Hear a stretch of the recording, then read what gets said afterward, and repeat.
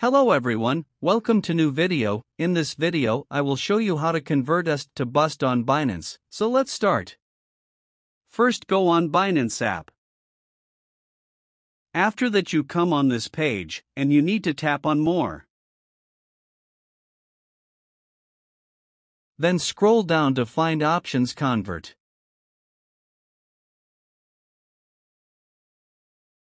When you find, you need to go on that. You can see the Binance don't take fee, fee is zero. Now we need to choose coin which we want to convert, we will do that press on this. And type a coin you want to choose, and tap on it.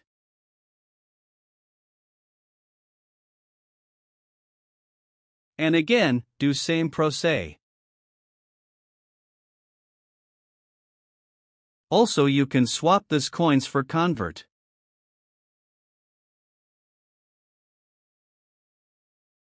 Now type a how much you want to convert, and tap on this. And you are done. So that is it for this video, if this video like you, leave a like and subscribe for more tutorial like this. Goodbye.